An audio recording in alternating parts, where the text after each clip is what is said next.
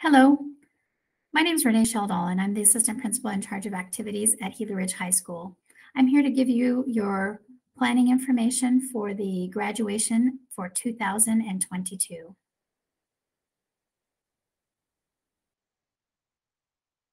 So we'll begin here with the quote. We'll begin here with the quote from our uh, 2022 class um, who have chosen this as their motto.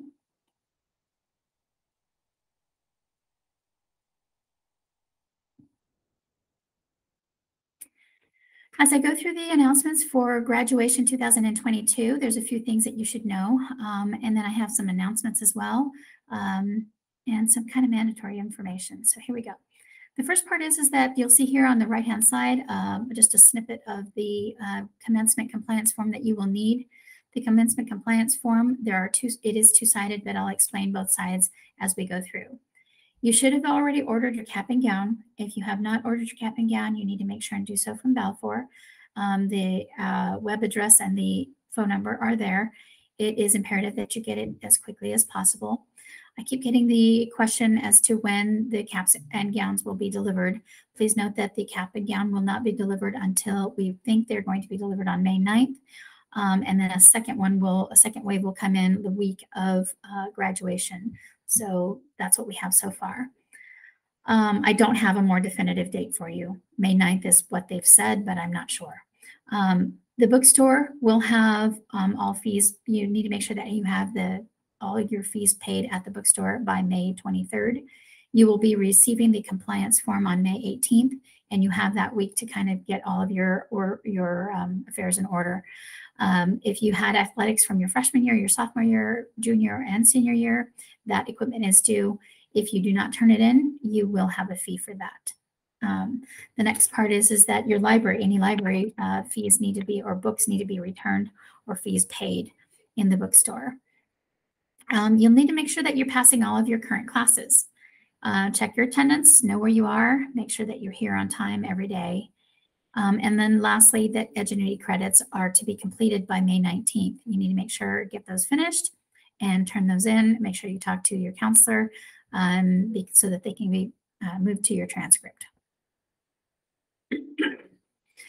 Um, as far as paying your fees or what have you and checking out through the bookstore, you'll need to make sure that the bookstore, um, it is open from 7.15 to 3.30. So that's when you would need to make sure to go in there. Um, she does have to sign off. So make sure that you're you get there but before uh, May 23rd to get that taken care of. You can reach Diane Arzamendi at that address, uh, web address, and or phone number. If you just want to go online, you can absolutely go online and you can um, take care of using the, uh, you can see the little dollar sign on the ribbon at the bottom. It takes you to myschoolbucks.com, which will be your account to be able to pay for any um, fees that you might have. Between now and graduation day, remember that it is a privilege to go through graduation ceremony, not a right. We want you to be there. We want you to have the opportunity to go and experience that. We want your family to have you um, experience that as well. Um, but you need to behave appropriately, school appropriate at all times. Graduates, you do have to be at the mandatory graduation practice on May 27th at 8 a.m. There will be a photographer, professional photographer there at the um, ceremony, not at practice, but at the ceremony, and we will live stream the ceremony as well. Make sure that you are dressed appropriately, that you are dressed in semi-formal attire, and that your shoes are appropriate for walking on the grass and up the stairs. Again, your behavior needs to be um, appropriate for school and including the ceremony. You don't actually get your diploma until the end, okay? So make sure that you're appropriate. Mandatory graduation practice, it starts at 8 a.m. We will all meet in the gym. Do not make any appointments for that morning for your hair, your nails, a doctor, what have you. Breakfast with your family. Um, you need to make sure that you are at graduation practice. If you are not at graduation practice, you will not walk the line. Um, at graduation practice, we will distribute your tickets um, and your COVID waivers. Uh, please consider bringing your shoes that you might wear for graduation. This would be a good time for you to test out whether you can walk in those shoes um, in the grass, okay? And graduation practice will take about three hours. So that's when you can plan for your uh, appointments. You can plan for going out to lunch with your friends and your um, maybe having lunch with your family, but that's going to be the time, okay? The photography, it's uh, will be taken by Grad Images as the photographer. You will receive, when you get your compliance form, you will also get a little quarter sheet piece of paper, a uh, index card, um, kind of like a postcard. Um, and what you'll do is you'll need to make sure and write your email address that will be a different email address than your school email address the email address that you list will have, um, that's where we will send, or that's where Grad Images will send your um, digital prints. And so then you can print from there, or I'm not sure, you order your prints is I think what happens. Um, again, we will have a live stream. The live stream will go through the Gila Ridge High School official um, Facebook account. So it's GRHS official. And a recording will go up the next week on our Facebook account as well. Um, I told you there were two sides to the um, compliance form. The other side is about appropriate dress and behavior. Um, again, make sure that you have ordered your cap and gown through Balfour. Part of that is your um, diploma and diploma cover go through um, that order from through Balfour. So know that, and then please understand um, that uh, I we want you to celebrate, but we you are one of the ways that you cannot um, celebrate is to not have your um, no there are no alterations to your cap. Um, so please do not do that. You can see a kind of good example of a non-example here. We don't want it um, decorated in the fashion that's you can see there on the right hand side of the screen. Make sure that your shoes are appropriate to walk on grass and stairs. I can't i can't state that enough. Um, it's really uh, we don't want you to be embarrassed. Let's just say that um, there are no flip-flops and jeans on that particular day as well. Any violation of school rules can result in your removal from graduation um, ceremony. And actually what it says here is will result in removal from graduation ceremony. There are two things I want to point out here. Uh, first of all, you can see where it says main grandstand, non-ticket holders, and visitor grandstands at the bottom, ticket holders only. So um, I'm going to explain that in just a moment. Please look at the, um, on the left-hand side, that would be considered like 24th Street. On the right-hand side, in the top right-hand corner is the concession stand. So that's kind of the orientation. We'll be facing, the graduates will be facing 24th Street, okay? So guests in the main grandstand, it's open to the public. So anyone can sit there. You want to, the only thing that you'll have to do is you'll have to have a COVID waiver. In the visitors grandstands, you'll have to have a ticket. On both sides, again, um, you'll have a COVID waiver, but the, the visitor side would have a ticket. How the tickets come into play is if we were to have some kind of inclement weather, only certain people would be allowed, certain ticketed people would be allowed into the auditorium. Um, so if we don't have that problem, which we haven't, knock on wood, so far, um, we would, you know, continue with with things as normal. Um, each graduate will receive three tickets, three of or two of one color and one of a different color, and that's that's what will determine who goes into the auditorium. Again, visitor waivers um, will be for both the uh, home side, so non-ticketed uh, people, and for the ticketed visitors as well. Please note that there are no balloons allowed, no posters allowed, and noisemakers are not allowed if these items, um, if you bring these items in, we will ask you to take them to your car um, because it would obstruct the view of others. And then, of course, it doesn't would not allow for graduates to be honored in the way that we would all appreciate being honored and that our graduates would get to be celebrated. The guest check-in procedure will be that there'll be tables. Um, our COVID waivers will be, if you're on the main grandstands and the home bleachers, you'll just turn in your waiver there.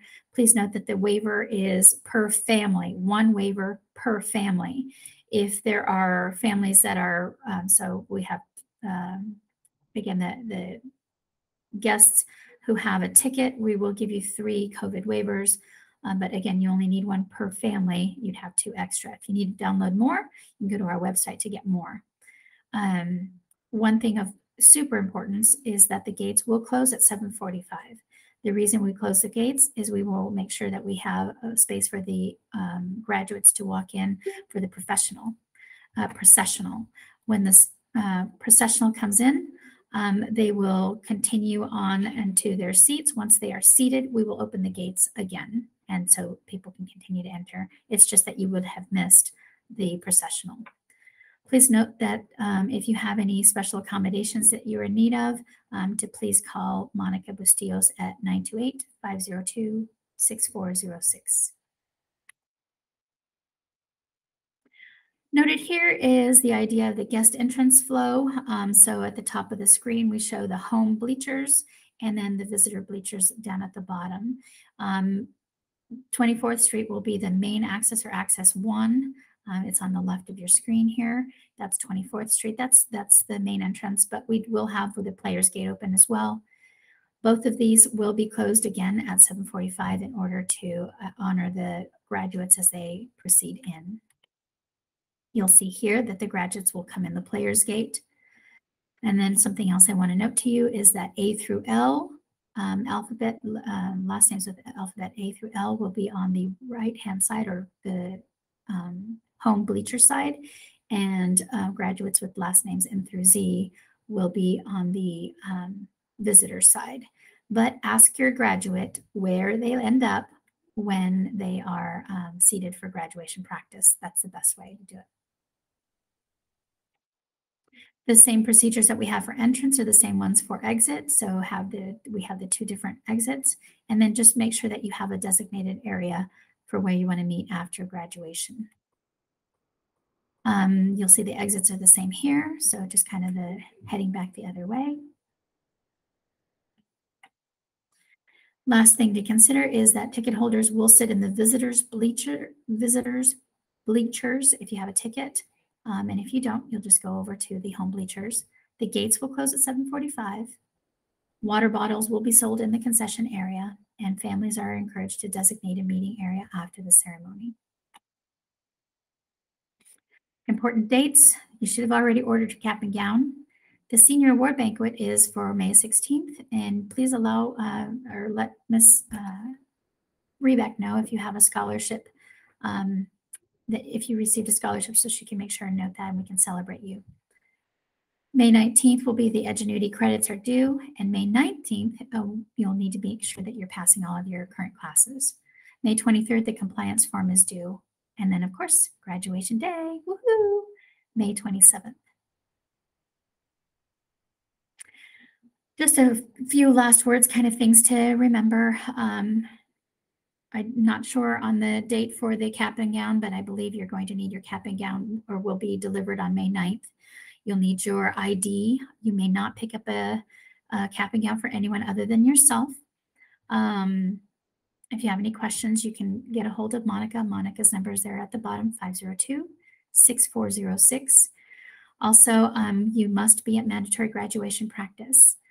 I think it's really important that um, we are uh, being able to, to celebrate you um, after two years of COVID and not being able to have a true ceremony with all of our family and friends available um, and there for our special night. So um, congratulations to you. And remember that uh, once a hawk, always a hawk. We're so proud of you.